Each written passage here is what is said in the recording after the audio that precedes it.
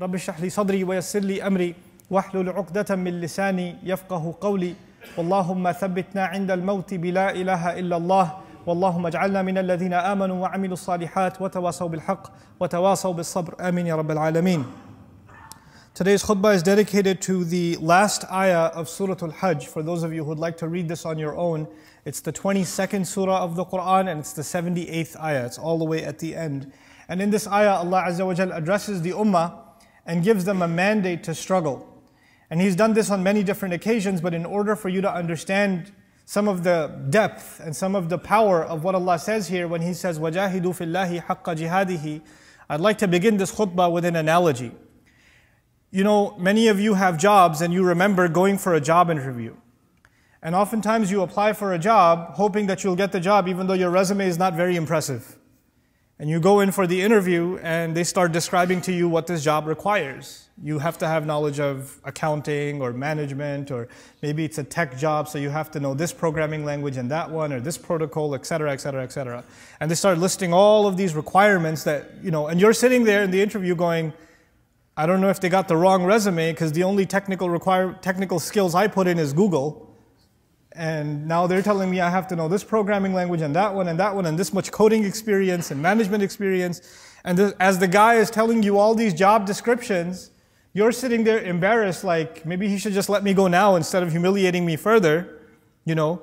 And after he's done re- describing all of this and you're clearly not qualified, he turns to you and says, Congratulations, you start tomorrow. Now, your first reaction is shock. How, how did I get picked for this job? I, I'm not nearly qualified. But the second part of this is even if I did, did get picked, even if I am selected for this job, it's no congratulations at all. Tomorrow, when I show up for work, I'm not going to know what to do. They're going to know that I'm completely and utterly not suitable for this job. It's going to be humiliating. There's no way I'm going to learn any of this. So Allah Azza wa Jal in the beginning of this ayah didn't just say wajahidu fillah struggle for you know with, with no goal before you and struggle for no other reason than Allah Himself. Make efforts towards Islam. But that wasn't, that wasn't enough. He said haqqa jihadihi, as is worthy of him. So let's understand that phrase, as is worthy of that struggle, or the struggle that is made for him. Think about this. When you and I pray, when we pray, do we pray in the way that Allah deserves? Or when we thank Allah, do we thank Allah to the amount that Allah deserves to be thanked? Or when we obey Allah or remember Allah, do we remember Allah the way He deserves to be remembered? As a matter of fact, no matter how much we do, we can never qualify to, the, to, the, to do justice to His rights. We're always going to fall short. My salah is never going to be worthy of Allah, actually. At the end of it all, it's going to have lots of errors. It's going to have lots of shortcomings. My mind will wander. You know, and then Allah Azza wa Jal only knows if it's good enough, and so we have to beg Him at the end of our prayer, Rabbana taqabbal minna, Master, accept from us. Whatever hodgepodge we were able to put together, at least hopefully that's good enough. But there's no way you and I can ever do something that's worthy of Allah Himself. And it's impossible. So how is Allah giving us an impossible job description? وَجَاهِدُوا فِي اللَّهِ حَقَّ جِهَادِهِ Struggle with no intention except Allah alone, like, he deserve, like the struggle is worthy of Him doing justice to that struggle. There's no way to do justice to that struggle. That is utterly impossible. But now, after I describe that it's utterly impossible, there's one more phrase here before I go on that needs special attention. Allah says, Fillah. Fillah, which is, without getting into a lengthy conversation, essentially suggests that when you make efforts for Islam, when you try to leave, for example, disobedience of Allah, you want to get away from haram, no matter how tempting it is, no matter how strong that pull is. Maybe you're making a lot of money, but it's money from not halal sources. And it's really hard to quit because you have a house to pay for, children's education. There's so many things tied to it, so it's so tempting to hold on. Maybe one of these young men or women are in a relationship and they're tempted. And they're being pulled into that relationship constantly and they can't get out of it. They're, they're struggling to get out of it. And coming back into the obedience of Allah is a very difficult, very difficult struggle for them. Because shaitan is constantly pulling at them, constantly pulling away at them. And even if they get away momentarily, the struggle comes back again. You know, it is, it is important to note when these kinds of struggles happen that the pressure your family will put on you, or some, somebody will come and try to give you a reminder, don't do this, or somebody else will try to say, hey, I'm your friend, I mean well for you, you shouldn't be doing this. When, when we try to put pressure on each other to do the right thing, none of that pressure is going to be good enough. It's not going to be good enough. When a human being is going to fall before the waswasa of shaitan, when a human being is going to stop struggling for Allah, then the only thing that can save them is their relationship with Allah. That's the only thing. You cannot become a better Muslim for your parents. You can't become a better person because of your community. You can't. They can help, but until you decide that you're doing this only and only and only for Allah, that struggle will not last. It's impossible. It has to be sincere. The only way to know that is inside of yourself, inside of myself. Outside of ourselves, we can show to each other what we are, but the reality inside, only Allah knows. وَجَاهِدُوا فِي اللَّهِ حَقَّ جِهَادِهِ Once he describes that we are utterly unqualified, obviously, because of this impossible job description, he then gives the explanation of why we have been chosen. He says, هُوَ اجْتَبَاكُمْ The easy translation of هُوَ اجْتَبَاكُمْ is in fact, He's the one, he has selected you. He has chosen you. But the Arabic word here for choosing or ijtiba, the, the word that's selected here by Allah, is very special. If you say the word ikhtiyar, which is also a word for choice, then it comes from the word khair, meaning you prefer something or something is, you make a better choice. That's ikhtiyar. You can say istifa, istafa or istifa in the Arabic language, which comes from safwa, purity. When you make a choice, you don't have to explain anybody to anybody else why you made that choice. For example, when you go shopping, and you buy like a blue shirt, you don't owe somebody a scientific explanation. Why did you pick the blue shirt? Why didn't you get the white shirt? That's istifa. It's purely your choice. There's no rationale necessary.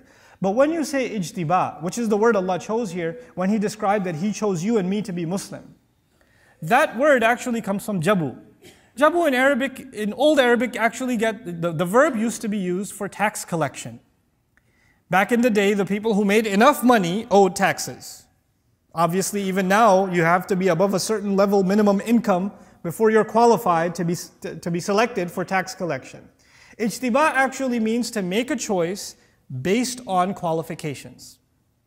So, in other words, you know, when you get hired for a job, or if you're fixing your car, or you're, you're, you're tightening a screw or something and you pick the right tool for that job, you just did ijtiba. Because if you pick any other tool, it doesn't do the job. When you make the right choice for the right job, that is called ijtiba. In other words, what I'm trying to tell you and what I'm trying to remind myself of is that when Allah honored you and me to be Muslim, the fact that you and I say La ilaha illallah, the fact that you and I have, have the gift of saying Muhammadur Rasulullah sallallahu alayhi wasallam is actually a very precise choice from Allah of you and me. There were plenty of other human beings available before Allah on this planet, and Allah chose precisely you and me to be Muslim for a task that He has. Because ijtiba is done for a particular purpose, for a task. So now, you are, we aren't just chosen to be Muslim, we're chosen to be Muslim because we have a mission in front of us. And that mission he already describes is you have to struggle for Allah as is worthy of the struggle that should be made for Him. And then, he's, then he adds finally, now that I realize I've been chosen, even though I've been chosen, I, I'm still thinking this is too hard of a job. How am I going to do this? Fine. Allah sees something in me, I don't even see it in myself. I don't even see what's so special about me. Why did I get chosen? You know, there's so many better people out there. But Allah is, and this is too hard anyway. Islam is way too hard. What Allah is asking of me is too much. I can't do it. And what are the next words from Allah Himself? وَمَا جَعَلَ عَلَيْكُمْ فِي الدِّينِ مِنْ حَرَجٍ he did not place for you in the religion any difficulty, any discomfort, any tightness whatsoever. In other words, this is Allah Himself telling you, relax, I'll make it easy. Don't you worry about that. You're the right man for the job. You're the right woman for the job. You were the one chosen for this time, this day, and this age. You know, when you look around now, you see that Muslims are, we're, we're the target of media attention, political craziness. I, I travel to England all the time. But this last time I traveled, I got exhaustively questioned. What are you doing here? You know? I got questioned, like, why are you here? That's never happened before. So things are becoming tougher and tougher for Muslims. They are, in many, many ways. But that's okay. You know what? Allah chose you and me to be born in this generation, in this day and age, knowing full well these are the trials we're going to have. And the best people qualified to struggle in these trials are the Muslims alive today. That's the choice of Allah. That's why, he, that's why you and I are taking a breath right now. If we didn't have a purpose for us, because He only creates for purpose. خَلَقَ السَّمَاوَاتِ وَالْأَرْضَ بِالْحَقِّ وَصَوَّرَكُمْ He created the skies and the earth with precise purpose and molded you. So He molded you and me and put us in this position because we have a purpose to serve. And then, even though that's a challenging purpose, Allah Himself gives the orientation and says, I'm not going to make it any hard for you. It's not going to be difficult at all. I'll take you back to the analogy I gave you in the beginning. There's that job interview, and the guy gave you an impossible job description, and you're sitting there thinking, there's no way I'll get hired. And then he hires you. And your first thought is, I'm not qualified. And he says, Relax, I know what I'm doing. I've been hiring for a long time. I see something in you. Even if you don't think you know, you'll learn pretty quickly. You know, I, I know talent when I see it. So he's encouraging you and He's acknowledging you in a way that you didn't even think you saw in yourself. The other thing that's happening here is every Muslim is supposed to see value in themselves. No believer can think that they're useless before Allah, that they're pointless, that they're meaningless before Allah, they're worthless. They are worthy of Allah. They're worthy because Allah made a special choice of them, a special choice of them. And it's not going to be hard whatsoever. So now I take a breath of relief. Okay, whew, it's not going to be hard. He says, relax. And let me tell you something. You're not the first one to have this job. Many have been given this job before you. So he makes reference to the fact that this religion isn't just a new religion, it's a legacy. And whose legacy does he mention? In that same ayah, as the ayah continues, وَمَا جَعَلَ عَلَيْكُمْ فِي الدِّينِ مِنْ حَرَجٍ مِلَّةَ أَبِيكُمْ إِبْرَاهِيمَ You are the continuation of the legacy of your father, Ibrahim. He reminds us of which prophet? Ibrahim alayhi salam.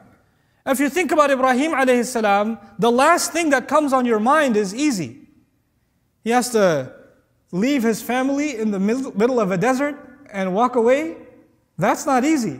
Before that, as a young man, he has to challenge his father and the entire community. That's not easy. He has to be thrown into a harriqu wansuru alihatakum.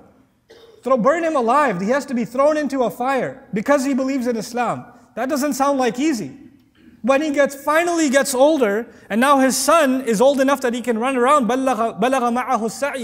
he gets old enough to run around with his son. He sees a dream that he's slaughtering his son. Over and over and over again, he gets trials and challenges that no human being has ever faced. Allah has never asked a human being to abandon their family. Allah has never asked a human being to jump into a fire. Allah has never asked a human being to slaughter their own child. He's been asked to do things that nobody was ever asked. The hardest test you can think of. This is even described in the Quran. وَإِذِ ابْتَلَى إِبْرَاهِيمَ رَبُّهُ When Ibrahim was, especially Ibrahim was tested, like nobody else by his master. There's ikhtisas there. Like Ibrahim alayhi salam had the hardest, hardest, hardest tests. And Allah in this ayah, when He told you and me, by the way, relax. It's going to be easy. Islam's going to be no problem. By the way, you're on the same track as your father Ibrahim. That's not very comforting. because that man did not have easy tests.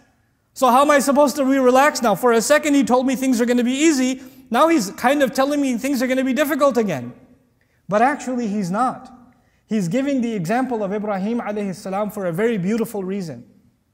He's giving that example because Allah is saying, if Allah can make jumping into a fire easy, if Allah can make leaving your family in the middle of a desert easy, if Allah can make you the only young man who stands up not only to his father, but to an entire community easy, if Allah can make you stand up to Nimrud and challenge him directly, easy.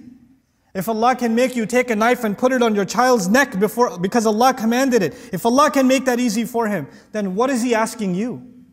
He didn't ask that from you. He asked much less from you.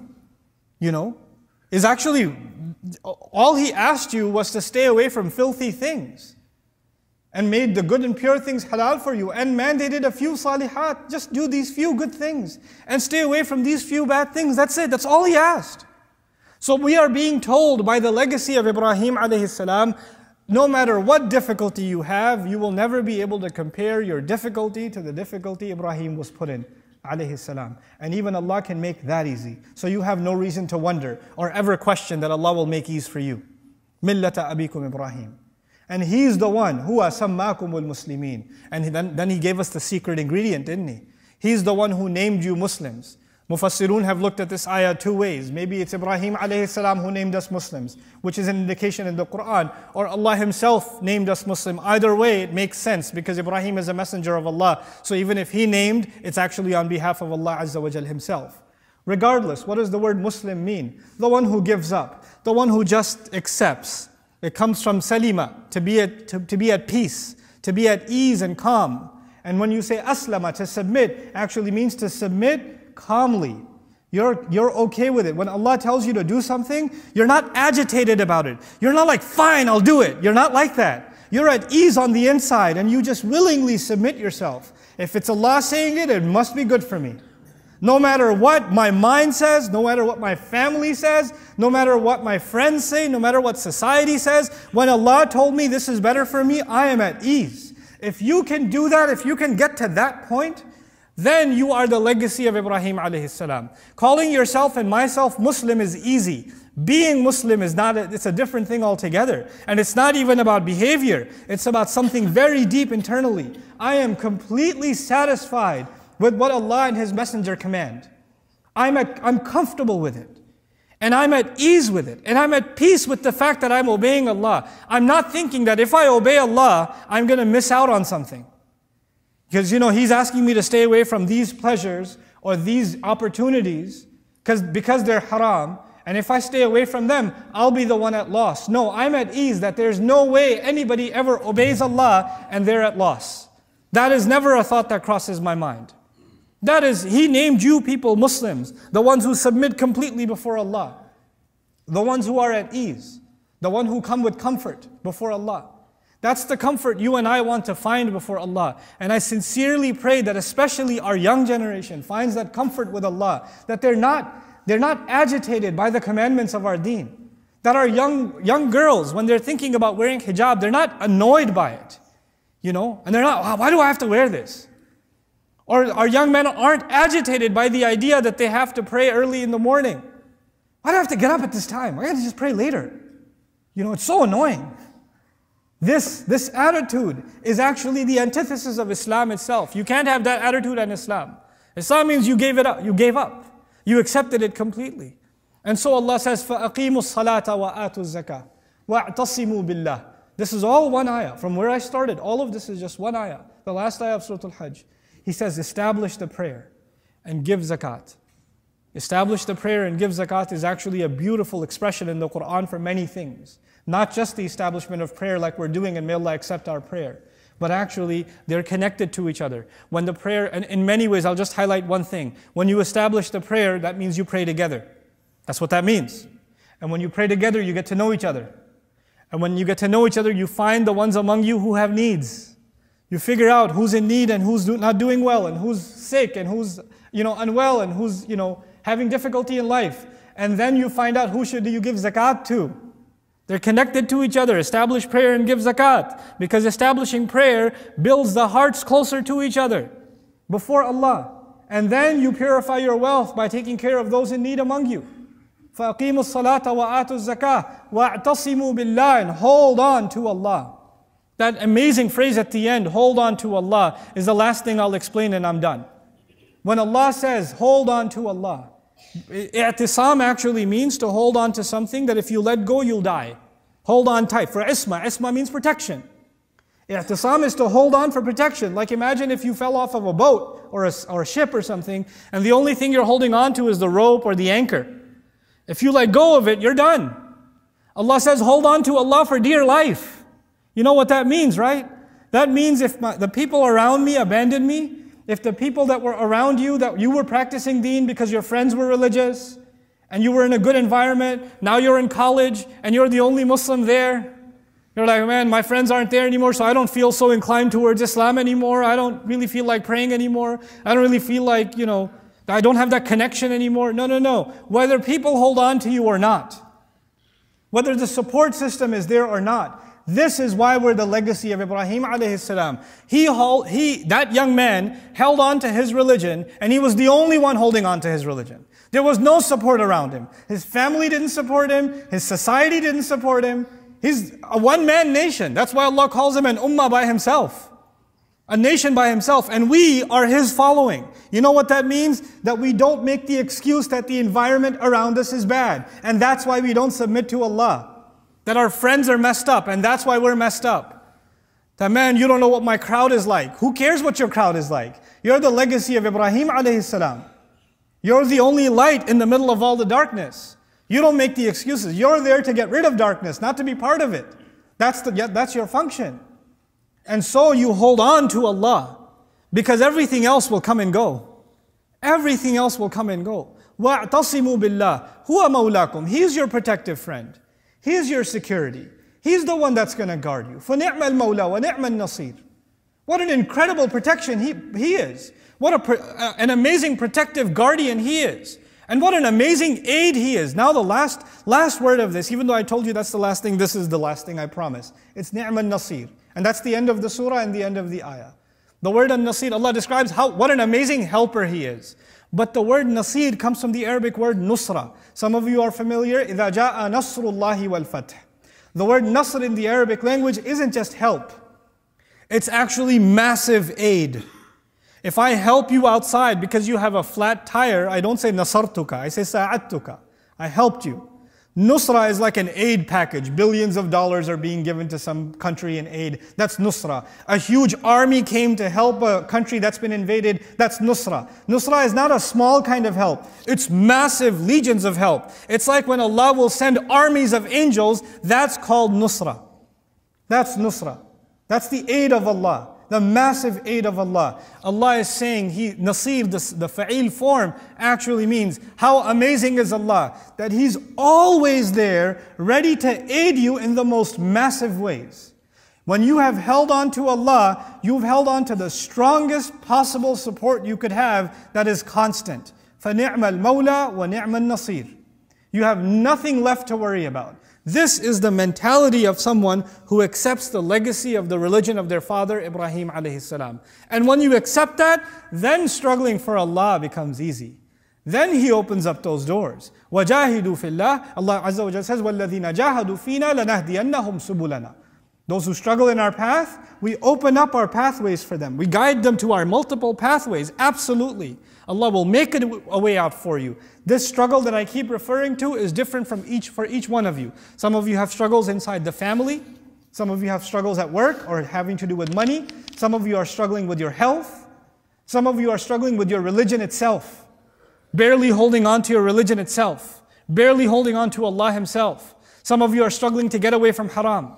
Only Allah knows your secrets. I'm not here to know your secrets, but know one thing. When you decide to struggle away from the way of shaitan and towards Allah, Allah's help is constantly there. He does not abandon you. We think He abandons us. Shaitan comes and tells us, You're so messed up. Allah, never, Allah doesn't like you. He's going to burn you in hell, etc., etc. He wants you to lose connection with Allah. And Allah comes along and says, No. Allah is there when you turn to Him. He's going to be there and He's going to constantly be there to provide His support. May Allah Azza wa Jal never let us lose hope in our Master and in our Rabb. May Allah Azza wa Jal make our personal struggles in our deen easy for all of us and make us of those for whom Allah is ni'm al-mawla and ni'm al-nasir. بارك الله لي ولكم في القرآن الحكيم ونفعني وإياكم بالآيات والذكر الحكيم.